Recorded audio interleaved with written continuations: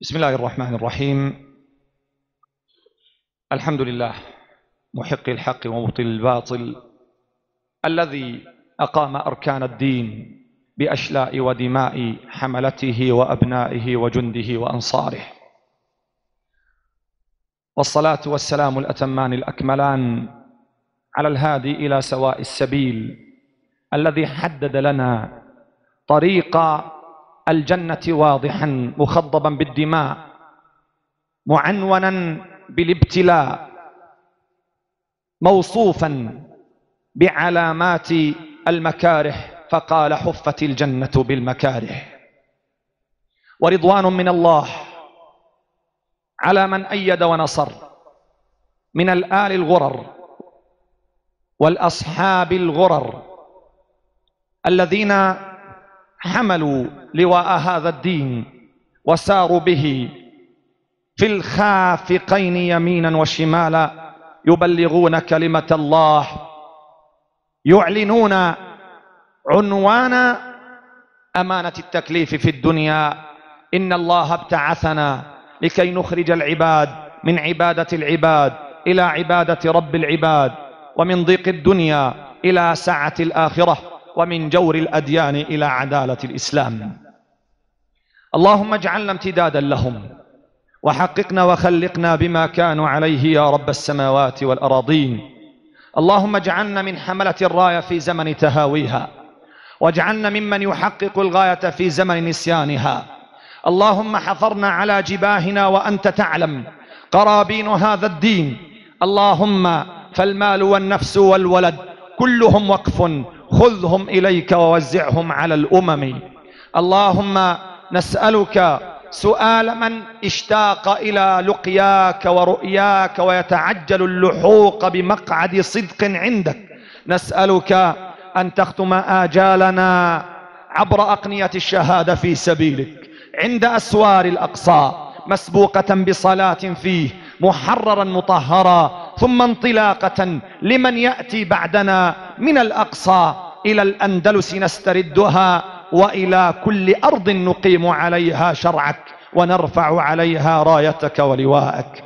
اللهم إننا نتوجه إليك بقلوب امتلأت حبا لك وإجلالا وشوقا إليك وطمعا فيك وهي تهتف وألسنتنا تترجم إليك وإلا لا تشد الركائب.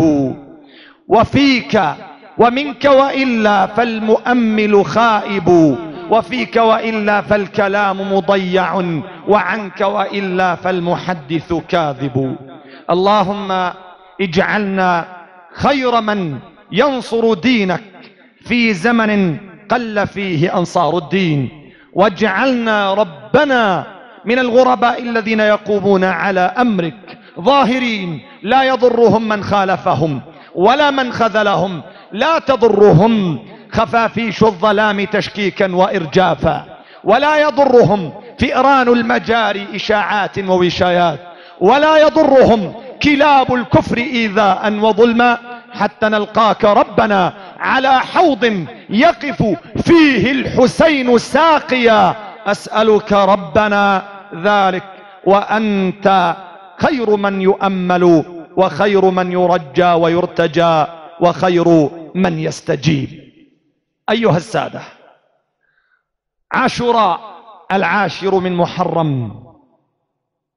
عادت من جديد بعد أن طوت صفحات الزمان عاما كاملا. لكي تكون باب ذكرى وصفعة انتباه. باب ذكرى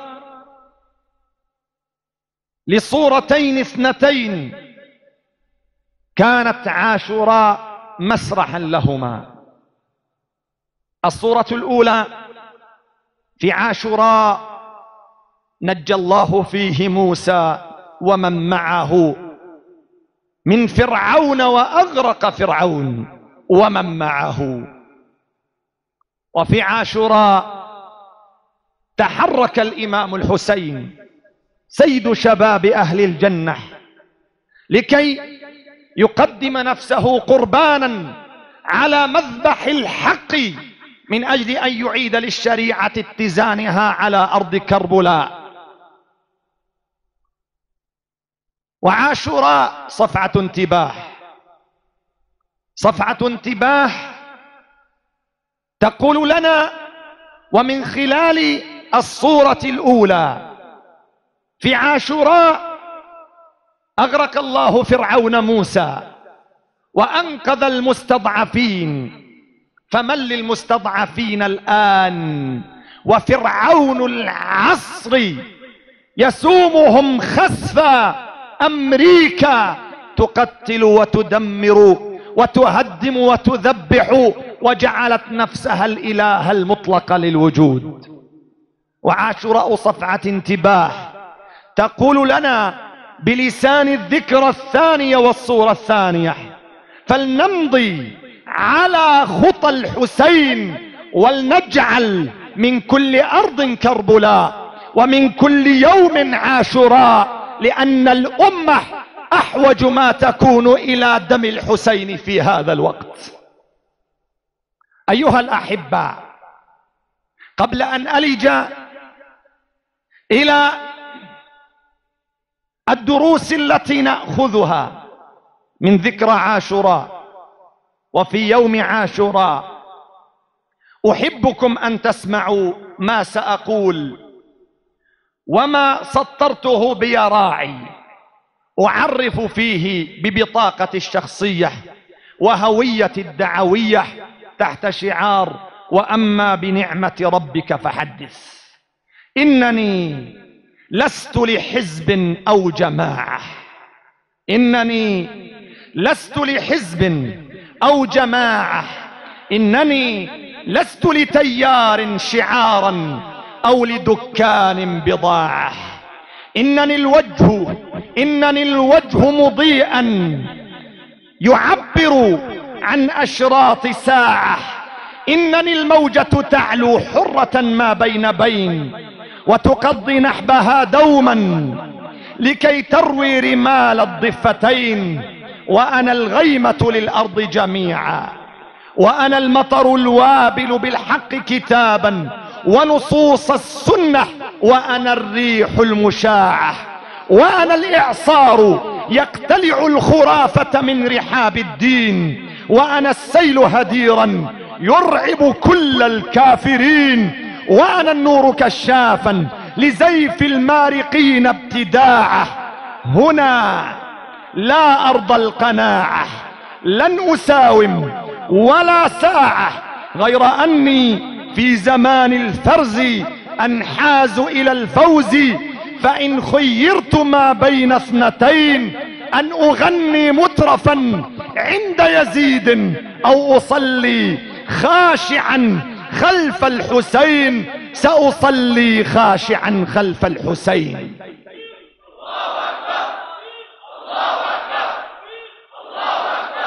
هنا لا ارضى القناعة لن أساوم ولا ساعة. غير أني في زمان الفرز أنحاز إلى الفوز فإن خيرت ما بين اثنتين أن أغني مترفا عند يزيد أو أصلي خاشعا خلف الحسين سأصلي خاشعا خلف الحسين إنني أرغب أن أحيا ولي بيت وزوج وعيال سعداء. ليس في أرواحهم بصمة خوف ليس في أجسادهم بصمة داء. ليس في أعينهم بحر بكاء ليس في أوطانهم من لقطاء. غير أني في زمان الفرز أستعرض جندي جندي قلمي ثم فمي ثم دمي. فالكبرياء والإباء والفداء وبعض بقايا الغرباء وأنحاز لصف الفقراء الشرفاء. وأسوي صهوة المنبر على مقاييس السماء وأغالي في التحدي وأغالي في التصدي. قدمي ثابتة في الأرض ورأسي شاهق فوق السماء. لست أهتم بمن كان معي أو كان ضدي. لست أهتم بمن أترك بعدي. لست أهتم بمن يبكي دموعا أو بمن يبكي دماء. ليس عندي غير هم واحد أن أسبق الموت إلى العيش فأغدو من ضحايا كربلاء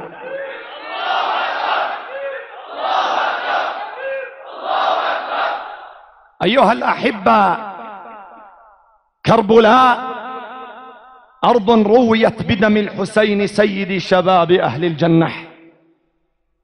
كربلاء كانت محطة في تاريخنا تناسيناها وتجاهلناها. وخاف دعاة السنة من أن يطرقوا أبوابها ويدخلوا رحابها. خافوا حتى لا لا يتهموا من الجهلة العوام الغوغاء بأنهم تشيعوا. والإمام الشافعي صرخته ما زالت تتردد. إن كان رفضا حب آل محمد فليشهد الثقلان أني رافضي. إن الحسين حسين الإسلام وإن كربلاء كربلاء الإيمان وإن الحق يعلو ونحن أولى بالذكرى وصاحبها. الموسى الذي نجي من الغرق يوم عاشوراء ليس لليهود بل هو موسى كل مسلم موحد إلى قيام الساعة. والحسين الذي تقدم بدمائه وأشلاء آل بيته في كربلاء ليس حسين الشيعة بل حسين كل, كل مسلم حتى تقوم الساعة. والذكرى ذكرى الغرباء المستضعفين ونحن أحوج ما نكون إليها في هذا الوقت وفي هذا الزمن لأنها والله هي عنوان بوابة التضحيات التي إن لم تقم الأمة عليها فلن تعز بعد الآن أبدا. أيها السادة أحبتي في الله إذا وقفنا مع القسم الأول من الذكرى حيث نجى الله موسى ومن معه من المستضعفين نجاهم من الغرق ومن فرعون. فمن لموسى هذا الزمان؟ ومن للمستضعفين في هذا الوقت؟ وكان لموسى ذاك الوقت فرعون واحد. ونحن لنا في هذا الزمان ألف فرعون. وفرعون الفراعنة أمريكا والربيبة إسرائيل. إذا كان موسى ومن معه خرجوا بدينهم هربا من فرعون ولم يجدوا إلا البحر ملاذا ومنقذا. فإن المستضعفين في زماننا قد لجأوا إلى بحر الأمة الذي تعداده مليار وأربعمائة مليون موجة فأين بحر الأمة؟ تجاوز حدود الشطآن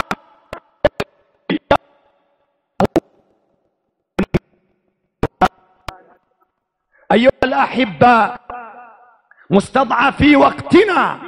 يقتلون يشردون يذبحون بأيدي الفراعنة. وقد كان أشدهم علينا فرعون العصر أمريكا. إلى من يلجأوا إلى من يذهبوا إن كان موسى ومن معه ذهبوا إلى البحر يريدون النجاة فإن البحار صارت أمريكية. تجوبها أساطيل أمريكا فإلى أي بحر يلجأ المستضعفون؟ إذا كان موسى ومن معه من المستضعفين وجدوا مساحات من الأرض يفر بها يؤخر ساعة الذبح وفرعون يطاردهم بجنوده. فمستضعفي هذا الزمان لا يجدون مساحة من أرض يهربون فيها في امتدادها لأنها كلها صارت بيد أعوان فرعون العصر أمريكا. أين يذهب المستضعفون؟ وألف حاجز مصطنع وألف من الحدود الإقليمية. تعزلهم في الداخل تعزلهم في قلب اسطبل الجزار ينحر بهم. لا يمكن أن نبصرهم إلا من خلال الإعلام الأمريكي. ومن خلال الخبر الأمريكي ومن خلال ما تسمح أمريكا ببثه وإذاعته. إذا كان للمستضعفين في زمن موسى أرض يهربون في امتدادها أو بحر يلجؤون إليه فمن للمستضعفين في هذا الزمان؟ سجنوا على مساحات الأرض الإقليمية والبحار تجوبها الأساطيل الأمريكية. من للمستضعفين يحامي عنهم بقي بحر واحد بحر الأمة أيها السادة. بحرنا الممتد من المحيط إلى المحيط. وقادر لو شاءت موجاته وموجاته أنتم. قادر هذا البحر على أن يغرق كل فرعون على وجه الأرض. ولكن متى تعلو موجاته حرة؟ متى تعلو بين بين لكي تغطي رمال الضفتين؟ متى؟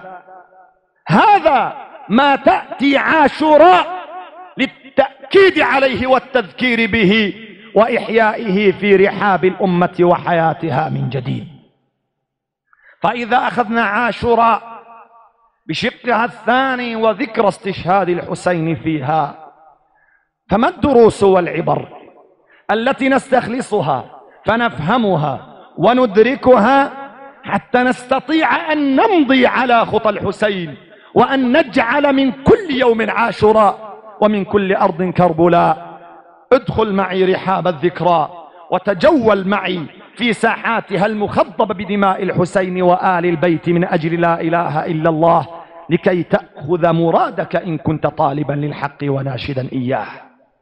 لقد جاءت ثورة الحسين أيها الإخوة لتترجم مقولة النبي صلى الله عليه وسلم حينما ساوموه وفاوضوه وأغروه وأعطوه قالوا خذ ملكا خذ جاها خذ نساء خذ أموالا ولكن اسكت عن قولة الحق ولا تسفه أحلامنا ولا تسب معبوداتنا وآلهتنا. بل نقبل معك أن تعبد ربنا يوما ونعبد ربك يوما إن أردت أن تستمر فيما أنت فيه. ولكن أعلنها شعارا لكل حر إلى يوم القيامة. والله لو وضعوا الشمس في يميني والقمر في يساري على أن أترك هذا الأمر ما تركته حتى يظهره الله أو أهلك دونه. حتى يظهره الله أو أهلك دونه. جسد الحسين هذه المقولة. وسار بأهل بيته. يريد أن يحافظ على استقامة النهج المحمدي نهج جده المصطفى بعد أن لعبت به يد الحدثان. وصار يرى أن الخلافة الراشدة تأخذ مسار ومحور الملك العضوض الذي حذر منه النبي صلى الله عليه وسلم حينما قال تكون فيكم النبوة ما شاء الله أن تكون ثم يرفعها الله ثم تكون خلافة راشدة تكون فيكم ما شاء الله أن تكون ثم يرفعها الله ثم يكون ملكا عضوضا ثم يكون حكما جبريا ثم تعود خلافة راشدة على منهاج النبوة. هذا ما نريد أن نستعيده حينما نقف مع هذه الذكريات ونأخذ دروسها وعبرها. رأى الحسين بأن الخلافة بدأت تنحرف شيئا قليلا لكي تأخذ محور الملك العضوض فصرخ واها واها وخرج لا بالقول بل بالفعل ولا بالبعيد بل بآل بيته أطفالا ونساء ورجالا وبالثلة القليلة من أنصاره. ومضى إلى الكوفة يعد العدة ويجيش الجيوش لكي يعيد اتزان لا إله إلا الله بالكتاب والسيف باللسان والسنان لأن الحق الذي لا تدعمه قوة والكتاب الذي لا يحميه سيف. باطل وإن ظننتم أنه حق. سيف مصحف يا أحرار لازم نصبر مهما صار وبعون الرب الجبار بعد الليل نهار. الحسين مضى لكي يجسد مقولة النبي صلى الله عليه وسلم. حتى يظهره الله أو أهلك دونه فهلك دون ذلك. أيها الأحبة فإذا كان الحسين فعلها فمن نحن حتى لا نفعلها؟ كيف بك يا حسين؟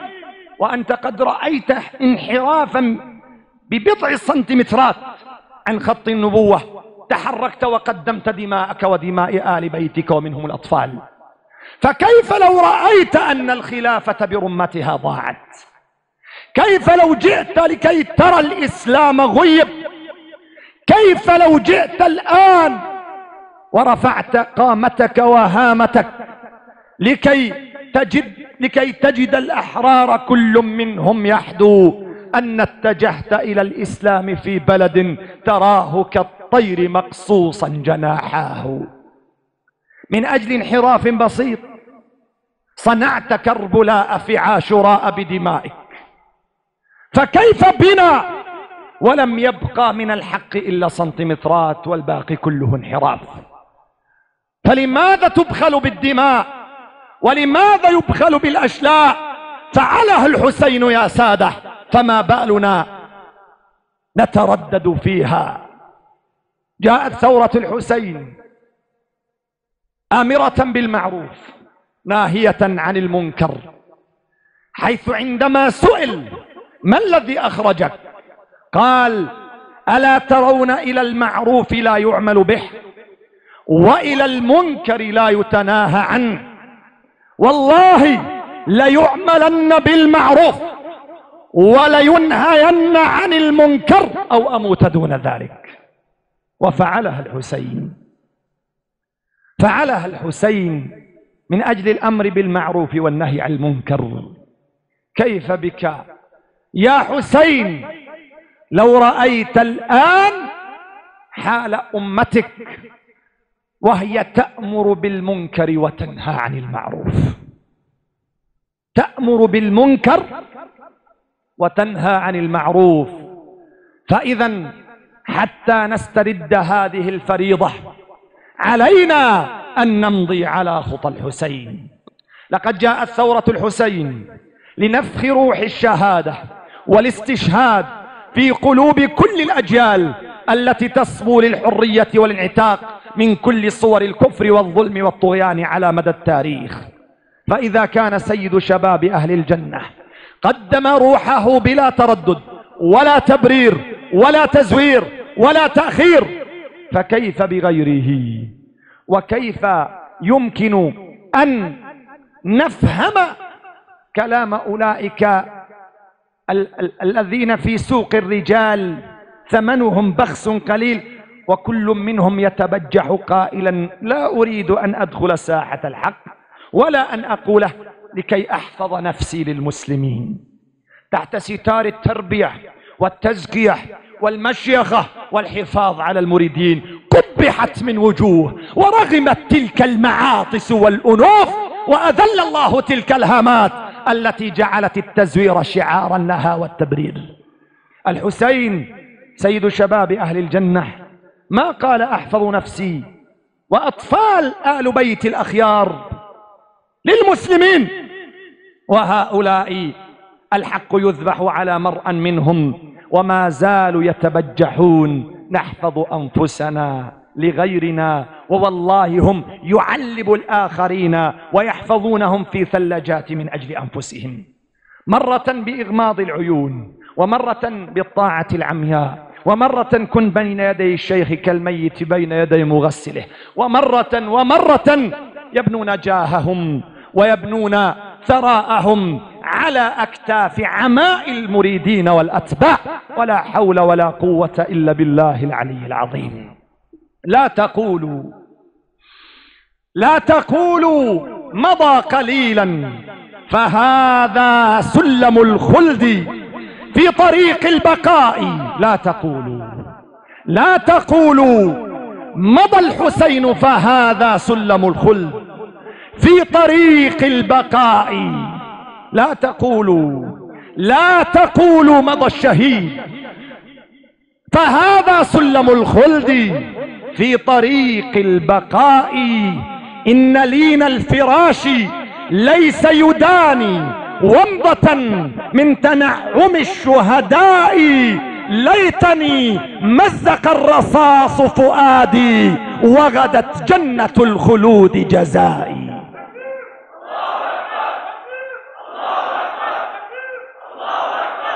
ليتني مزق الرصاص فؤادي وغدت جنة الخلود جزائي.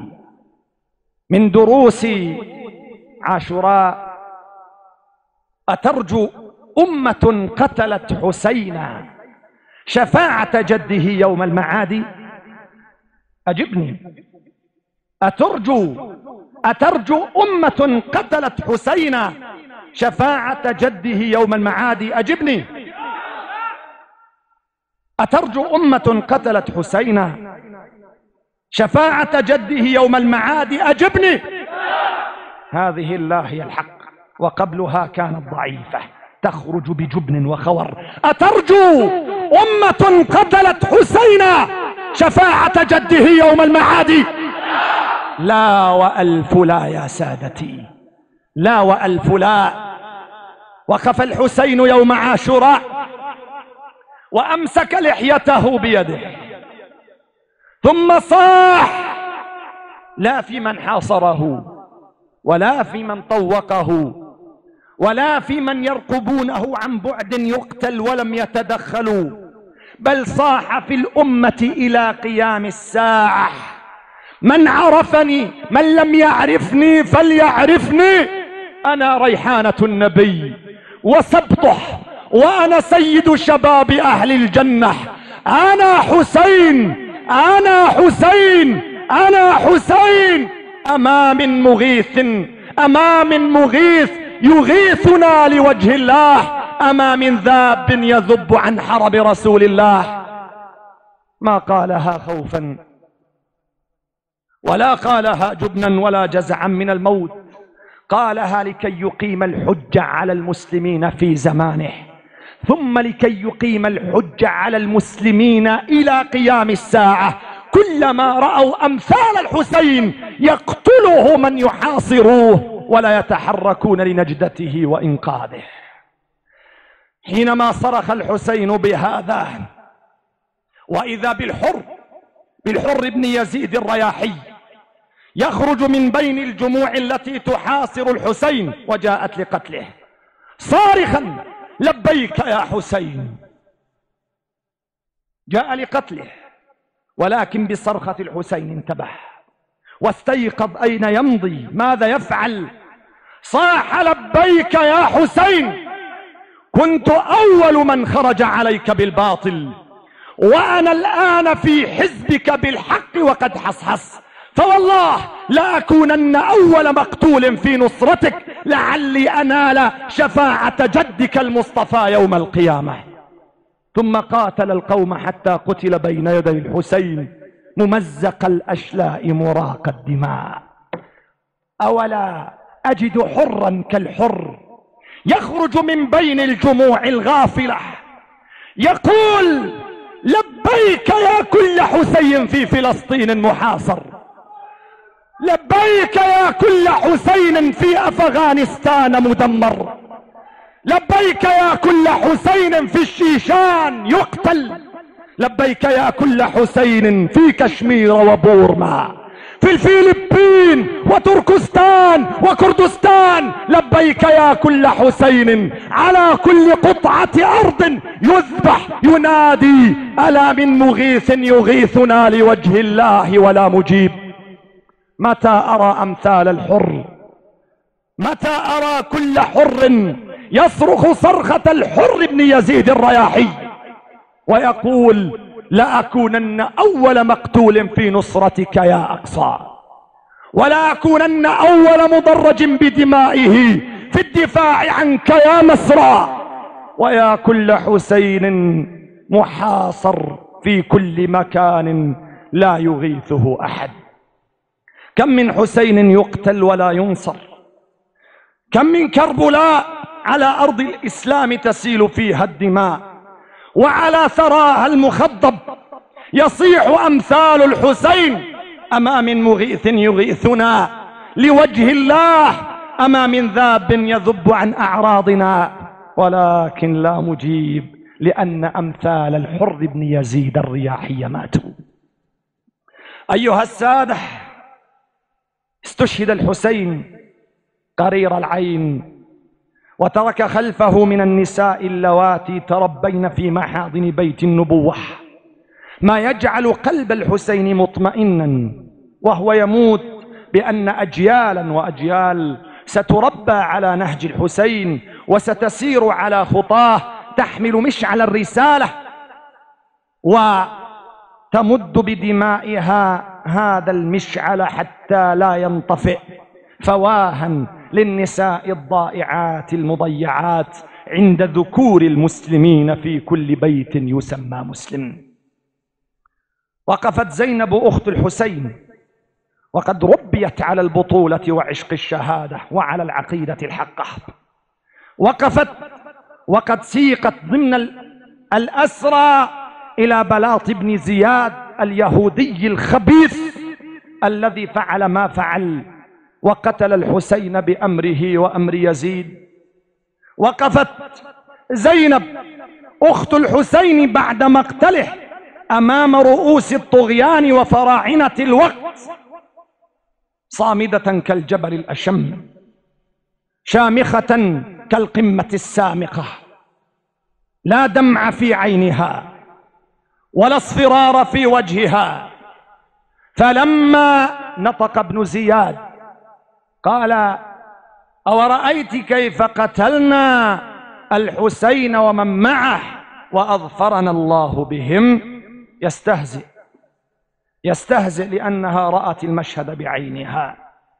فما زادت على أن قالت أولئك قوم أولئك قوم كتب الله عليهم القتال فبرزوا إلى مضاجعهم.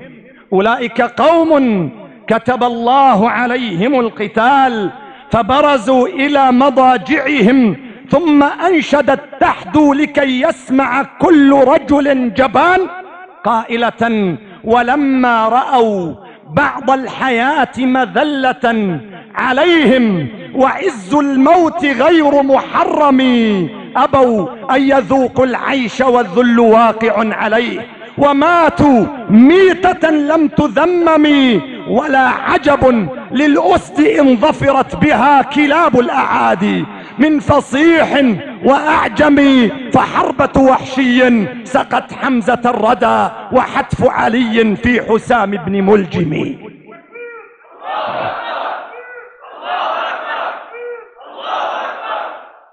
إذا كان أسد الله وأسد رسوله حمزة أبو عمارة يقتل بحربة عبد غدرا وغيلة. وقد أسلم وحسن إسلامه وحشيه بعد. وإذا كانت وإذا كان علي رضي الله عنه يقتل غيلة على باب المسجد بسيف الخارجي الخبيث ابن ملجم فما ضر الحسين إذا ذبحه الكلب الأبقع شمر بن ذي الجوشن. نعم ما ضره أبدا ما ضره أبدا. تقول ولا عجب للأسد إن ظفرت بها كلاب الأعادي من فصيح وأعجمي فحربة وحشي سقت حمزة الردى وحتف علي في حسام بن ملجم. ما ضركم يا شهداء الأقصى؟ ما ضركم يا من تقومون على الحق في كل مكان؟ ما ضركم أن تقتلوا بيد الكلاب الأمريكية أو اليهودية أو الملحدة الشيوعية. ما ضركم أيها الأحرار يا من ساروا على خطى الحسين؟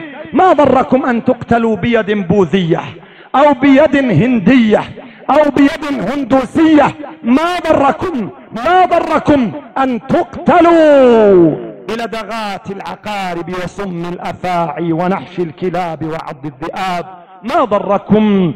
فحربة وحشي سقت حمزة الردى وحتف علي في حسام بن ملجم. لقد كان استشهاد الحسين تأكيدا على أن غير العزة لا يليق بالمسلم. وإذا رأيت مسلما يقبل بغير العزة فشك في إسلامه لأنه ليس هذا هو الإسلام. ها هو الحسين يصرخ قبل موته بقليل وقد طوقه مئات من الفرسان ومئات من المشاة يرمونه بالنبال يلقون عليه الحراب تهجم عليه سيوفهم المتعطشة لدماء كل حر. صار يصرخ هيهات هيهات هيهات منا المذلة يأبى الله لنا ورسوله والمؤمنون إن السادة لا يموتون على الوسادة ثم صار يصرخ إن كان دين محمد لم يستقم إلا بقتلي يا سيوف خذوني.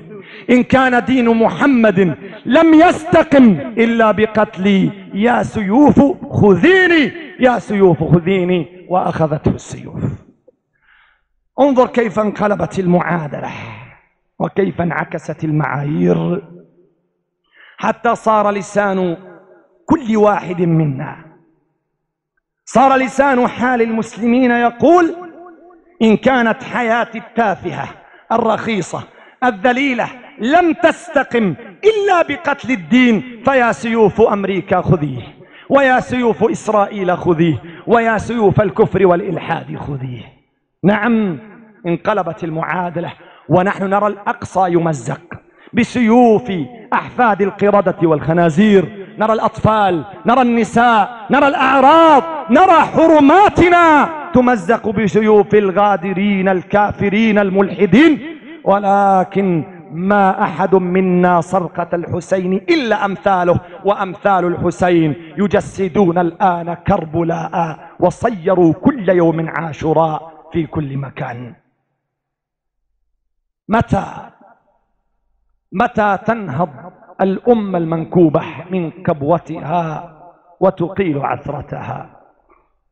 أيها السادة عاشوراء جاءت تعطينا هذا الدرس.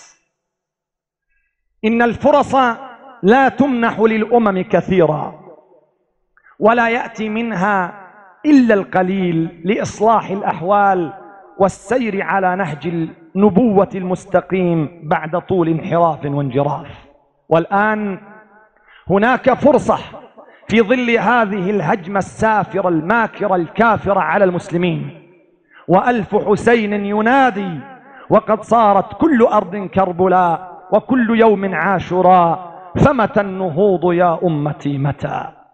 طالما هم أعلنوها حربا صليبية على الإسلام وطالما هم يزحفون عسكريا وسياسيا واقتصاديا واخلاقيا وثقافيا وتربويا على بلاد المسلمين. فلماذا نضيع الفرصة؟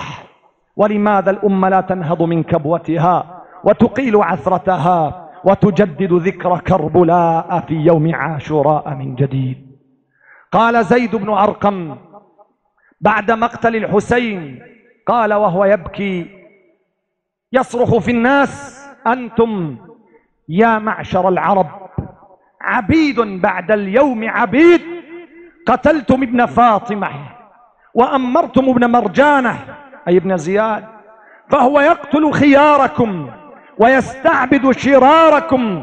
فرضيتم بالذل فبعدا لمن رضي بالذل بعدا. نعم نعم يا ابن أرقم وإني لأحمل شعارك.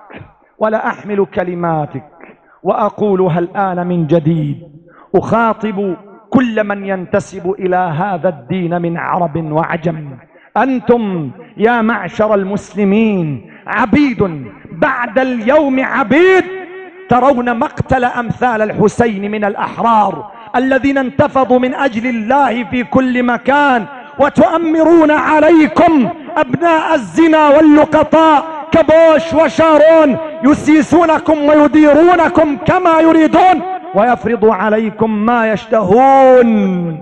والله والله سيقتلون خياركم ويستعبدون شراركم.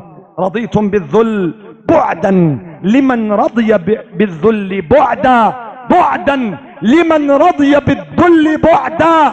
أما أنا أصرخ أيها السادة أنا أصرخ قائلا رباه قد فقد الإيباء ولم نعد نجد الكرامة وتحطمت آمالنا وذوت على فمنا ابتسامة وتخاذلت منا النفوس وقد رضينا بالسلامة. لا لا. لا لا تقول اليوم ما وقت الحساب ولا الملامة. اليوم يوم الحق يسأل فيه من ملكوا زمامة. يسأل فيه من ملكوا زمامة. كيف ارتضيتم سادتي؟ أن يحني الإسلام هامة وعلام إيقاف الجهاد ولم ينل دين انتقامة. رباه ضاع الإباء مع الفداء مع الرجولة والقوامة. رباه رباه رباه أقسم لن تلوح على فمي وهج ابتسامة. وتظل تهطل أدمع الحرى إلى وهج ابتسامة حتى تعود لحقنا المغصوب آيات الكرامة. ونزيل عار الانخذال ويرفع الإسلام هامة.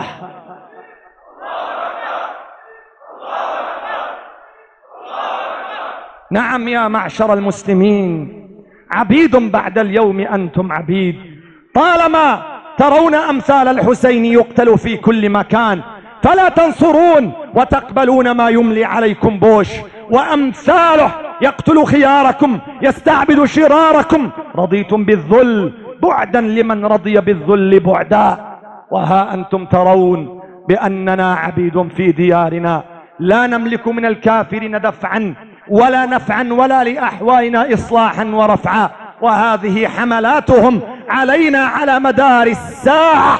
فمتى متى أيها الإخوة نرفع الرؤوس عاليا لكي نجدد صرخة الحسين؟ هيهات منا المذلة.